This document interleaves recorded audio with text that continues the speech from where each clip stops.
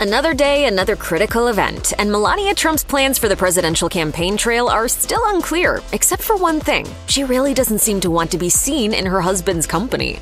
The former First Lady seems determined to sit out Donald Trump's latest presidential bid. Could there be trouble in paradise, or does she simply have better things to do than dabble in politics again? Just before the first presidential debate of 2024 kicked off, CNN's Erin Burnett confirmed that Melania was MIA at the event.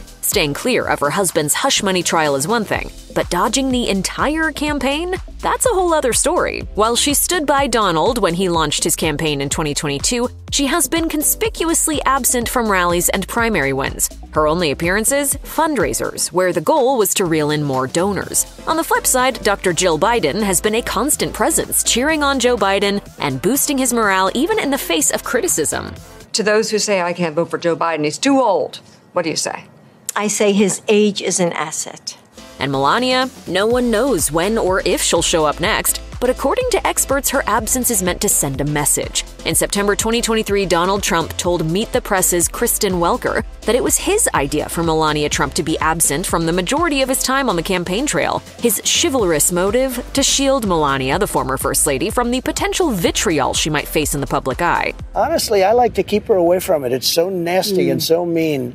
He was confident, though, that Melania would be joining him at some point, saying at the time that fans could expect to see her hit the road with him pretty soon. But surprise, surprise, that didn't happen. Instead, Melania is seemingly choosing to funnel her efforts into raising Barron Trump ahead of his first year of college, instead of supporting her husband in another attempt at the White House.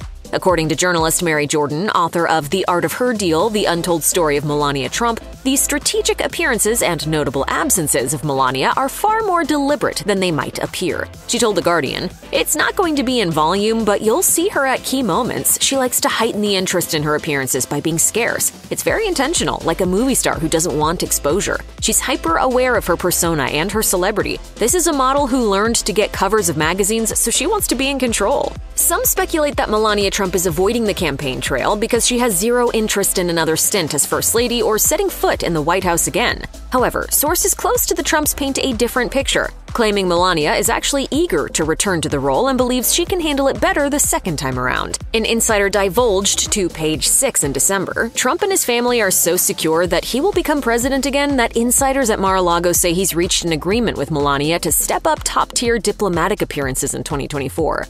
The source went on to add Melania is feeling more sure of herself, as both her husband's representative and her own position as a diplomatic figure.